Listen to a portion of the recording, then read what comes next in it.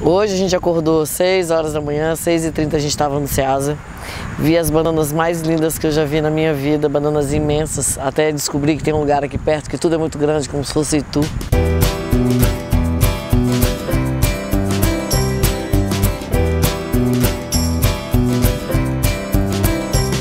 Logo depois a gente foi para o mercado, onde comprei todos os estoques de pimenta, que são inúmeras, nem consigo contar.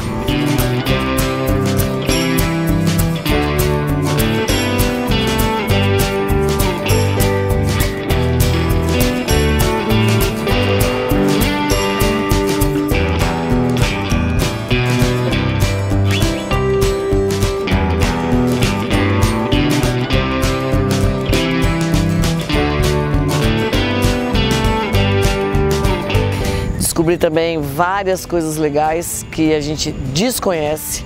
Aliás, eu era totalmente ignorante com relação ao Acre. É, foi uma descoberta linda porque a gente comeu de tudo, bebeu de tudo.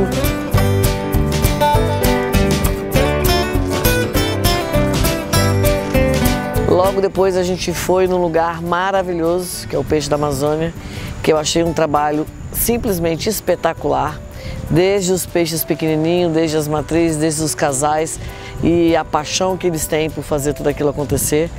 Os peixes são simplesmente inacreditáveis, a estrutura é maravilhosa. Logo depois a gente veio agora para a Ana Sara, que é a produção de cordeiro aqui do, do Acre.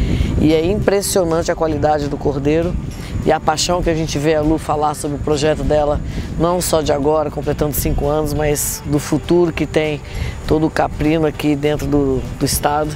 Então eu acho que aqui no Acre o que eu estou levando para mim daqui é a paixão que as pessoas têm em fazer aquilo que elas estão fazendo. E isso é muito difícil de ver fora daqui. Eu estou simplesmente assim muito encantada, emocionada e vida longa, vida longa ao Acre e que a gente volte aqui para terminar ou poder contribuir com esse trabalho maravilhoso. Valeu!